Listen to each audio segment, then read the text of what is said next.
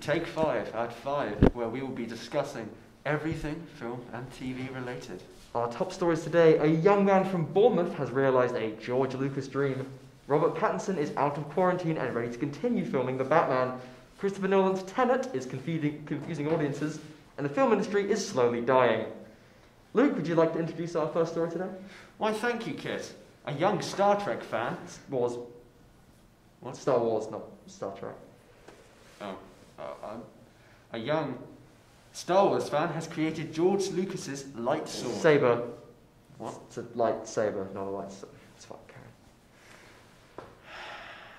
Lightsaber. Here is a clip of the weapon or tool that has been created.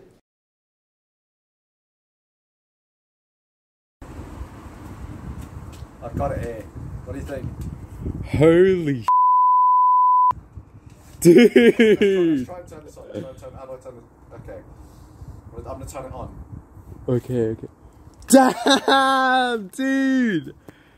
Oh that's so Oh, cool. That's so awesome. Dude, it's so bright. That's mad.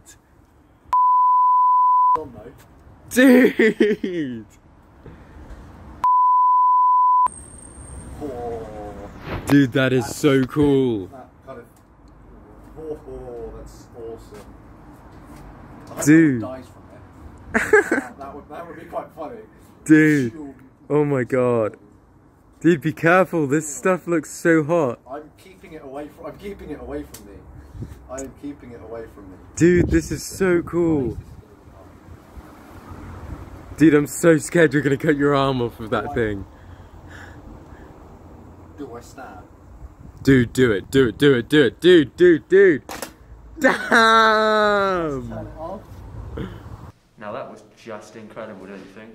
We, we have one of our reporters actually with the two who built the saber. Um, over to you, Ben.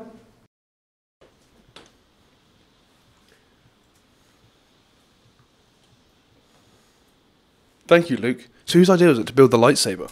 Uh, yeah, it was mine. Um, I mean, I decided to build it after watching Star Wars for the first time nine months ago. It took nine months to make. Uh, yeah, yeah. I mean, the funding was the hardest part. But Well, what else would it be?